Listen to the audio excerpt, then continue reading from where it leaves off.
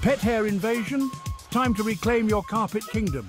First up, grab a trusty rubber glove. Yup, the same kind you use for dishes. Slip it on, dampen it slightly and run your hand over the carpet.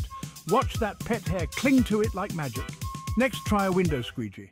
Drag it across the carpet and you'll be amazed at how much hair it picks up. For the ultimate hack, mix a bit of fabric softener with water in a spray bottle. Lightly mist your carpet, let it dry, then vacuum. The fabric softener loosens the hair, making it easier to suck up. Lastly, don't forget to keep your vacuum clean and use the right attachments. Your carpet will be fur-free in no time. Happy cleaning, pet lovers?